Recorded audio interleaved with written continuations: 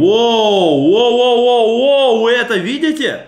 Наконец-то, наконец-то он у меня. И нет, я говорю не про этого попугая, который только что улетел, а про э, новенький, недавно вышедший игровой смартфон Razer Phone 2. Давайте посмотрим, что он из себя представляет.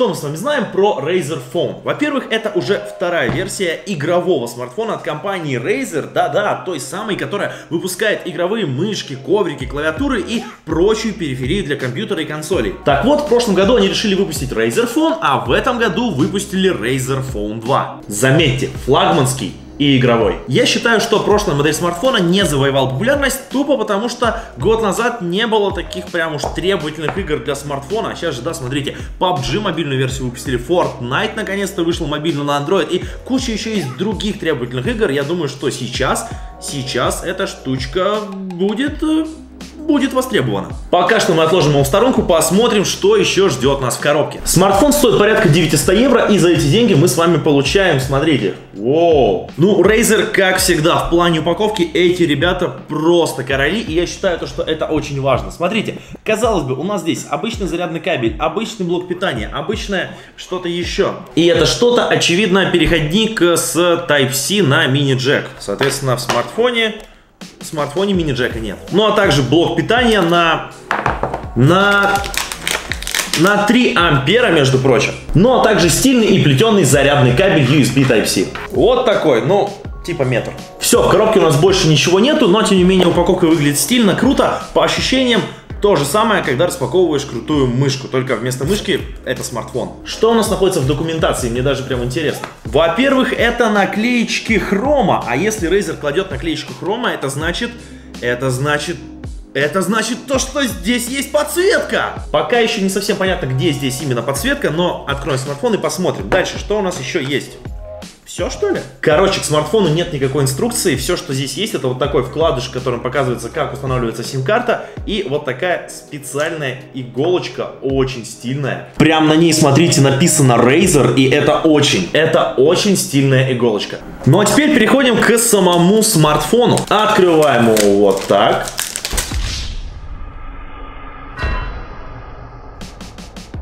И сразу могу сказать по дизайну то, что да, этот смартфон а, не совсем следует тенденциям. Во-первых, потому что спереди он не безрамочный, но при этом сверху нету моноброви, но зато вместо этого расположились снизу и сверху два довольно больших стереодинамика. Это как минимум должно означать то, что просмотры видео на таком смартфоне должны быть очень крутые. При том, что здесь экран 2560 на 1440 пикселей, 5,7 вроде бы дюйма. Честно говоря, мне нравится, когда спереди есть стереодинамики, потому что, ну знаете, надоело. Надоело вот это, когда у тебя динамик снизу, снизу и вот этот из громкоговорителя спереди. Ну, то есть смотреть видео на ютубе некомфортно. Играть в игры тоже не круто. Когда у тебя стерео, оно прям в лицо тебе бьет, вот это прикольно. Но это не самое главное. Самое главное это его частота обновления. 120 Гц, черт возьми. Ну, а как могло быть иначе? Ведь это же игровой смартфон. Игровой смартфон, значит экран 120 Гц. Во, Сзади стенка из стекла выглядит очень стильно. Здесь есть логотип компании. Также мы видим двойную камеру с довольно нестандартным расположением. Как это будет работать, посмотрим в следующий раз. Сейчас давайте его включим. Самое интересное, что для этого не предусмотрена отдельная кнопка. То есть вот тут снизу у нас есть USB Type-C для зарядки. Сбоку у нас есть две кнопки для изменения громкости, лоток для сим-карты.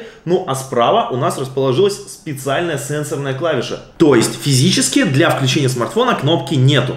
В инструкции, точнее в вот в таком кратком руководстве написано, что нужно просто подержать ее 3 секунды. Точнее нет, она нажимается. Она нажимается, но при этом это еще и сканер отпечатка пальца. Нас встречает красивая анимация включения. Ну и дальше нас ждут всякие настроечки. Воу, воу, воу, воу, воу, вы это видите? Охренеть, я только что посмотрел в монокамерный монитор и логотип Логотип, черт возьми, светится. Вот оно. Вот она, где хрома. Ну просто посмотрите на это и скажите, что это не прекрасно. Только попробуйте сказать, что это не прекрасно. Это даже не то, что прекрасно, это просто божественно. Боковая кнопка под большим правым пальцем это не только кнопка включения, но еще и сканер отпечатка пальца, который нам сейчас предлагают добавить. Давайте посмотрим, как происходит сканирование. На случай, если вдруг с нашим пальцем что-то случится, нужно сначала добавить графический ключ. У меня он обычно вот такой самый простой. Ну а дальше начинается интересный момент. Сканер находится не на привычном нам месте, не снизу под экраном, не вот здесь под камерой, а просто сбоку под большим пальцем. Я вот так его прикладываю.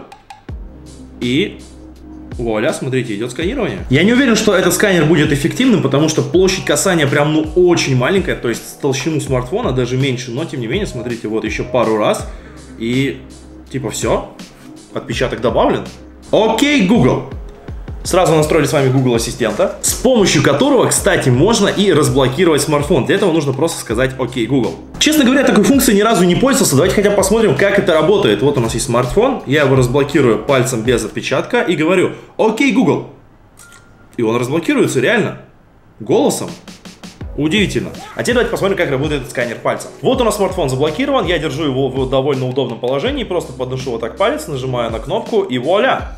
Слушайте, а это реально удобно, то есть нам не нужно пальцем тянуться вниз экрана, нам не нужно тянуться где-то здесь, искать сканер, у нас вот палец на удобном месте, мы просто его прикладываем и вуаля, все. Смартфон разблокируется. Это прикольно. Что касательно камеры, как фронтальной, так и двойной задней, и также остальных характеристик по железу, мы об этом поговорим в следующий раз в более подробном обзоре. У нас сегодня только unboxing, первые впечатления, и самое главное, друзья, это подсветочка. А чё она не горит-то? Эй, подсветка. Для настройки подсветки есть специальное приложение Chroma, и в нем можно выбрать различные варианты подсветки на различные уведомления, нотификации или, допустим, на уровень заряда аккумулятора. К примеру, если у нас там средний или низкий заряд аккумулятора, можно выбрать, чтобы логотип у нас светился, ну, допустим, красный. Ну, потому что красный это логично, когда батарея почти разряжена, она, как правило, в красном цвете. Ну, а также помимо цвета можно выбрать и анимацию, чтобы он у нас пульсировал, чтобы у нас была статическая подсветка, допустим, вот, мы сделали ее зеленой, или, допустим, переключили ее на синюю. И хоп, у нас, смотрите, логотип стал синим. Ну или, к примеру, можно сделать, чтобы у нас был спектр цветов. Очень долго можно спорить о форме этого смартфона, мол, он квадратный, чего вы не закруглили углы, неужели это было так сложно? Плюс, мне вот только что сказал оператор, то, что он неудобен тем, что такой смартфон неудобно будет носить в кармане. Давайте сразу и проверим. То, что он квадратный, такой здоровый, вот я его засовываю в карман. Вот я такой хожу там. Ну, в принципе, знаете, особо особо дискомфорта никакого нет. Но опять же, наверное, если носить такой смартфон в узких джинсах, то углы острые могут джинсы-то, наверное, и протереть. Но тут вопрос тогда уже скорее не к форме смартфона, а к вашей ориентации, что ли. Нахрена носить узкие джинсы? Это же неудобно. Подожди, а если узкие джинсы носит девушка? То есть ты серьезно думаешь, что, что игровой смартфон будет покупать себе девушка? Ну, мало ли. Касательно экрана, я вам уже говорил, это 2560 на 1400 точек, но тут главное сейчас даже не качество экрана, а два стереодинамика, которые находятся у нас спереди, качество звука и то, насколько удобно будет смотреть фильмы. Во-первых, возвращаемся к квадратной составляющей смартфона и замечаем то, что его спокойно вот так можно поставить на любую поверхность без подставки, что вертикально, что горизонтально. Вот. И спокойно расслабиться, можно включить ютубчик, смотреть сериальчики, смотреть любимые выпуски Юлика или что-нибудь тому подобное. Но какое здесь качество звука? iPhone XS Max и Razer Phone 2. У обоих смартфонов сейчас звук выкручен на полную. Давайте послушаем, как они звучат. Для начала послушаем Razer Phone с стереодинамиками, которые направлены вам прямо в лицо. Слушайте. Честно говоря, я очень давно уже не встречал смартфонов, у которых динамики сверху и снизу направлены в лицо, но, по-моему... Послушайте. По-моему, это просто охренительно. Очень громко, очень насыщенно и стерео. Это реальное стерео. Теперь давайте то же самое послушаем на айфоне.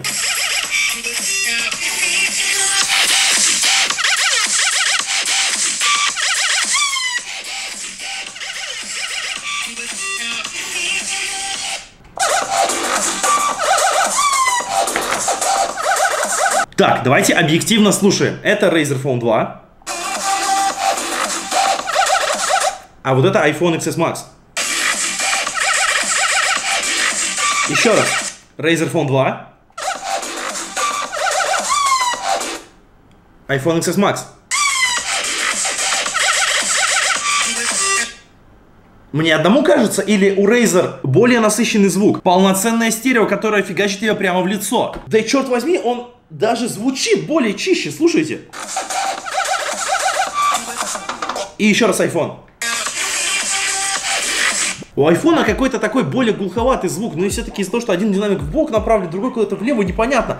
Нет, качество звука у айфона хорошее, никто не спорит, смотреть на нем видео это прикольно, но на этом смартфоне смотреть видео, фильмы или играть в какие-то игры это просто бесподобно. Да к черту эту моду на безрамочность, если можно сверху и снизу воткнуть динамики. Это круто. Вот это реально круто. Очень интересно будет проверить все это дело в играх, также протестировать специальный игровой режим, который есть в Razer Phone и все остальные фичи, которые касательны железа, заряда аккумулятора, его камеру. Все это будет в следующий раз. Сегодня же у нас был только unboxing на новинку от Razer, Razer Phone 2. Самый крутой и, наверное, самый топовый. Не то чтобы их, конечно, было много, было бы с чем сравнивать, но все-таки самый крутой игровой смартфон. Ну и самое главное, конечно же, что он с подсветочкой. С под... Какой же игровой смартфон был бы без подсветочки, ну? Я надеюсь, что это видео вам понравилось. Если это действительно так, то не забывайте подписываться на канал, чтобы не пропускать новые интересные обзоры, а также оставлять ваши комментарии и ставить лайки. У меня же на этом все. Меня зовут Тимур. Я прощаюсь с вами до следующего выпуска.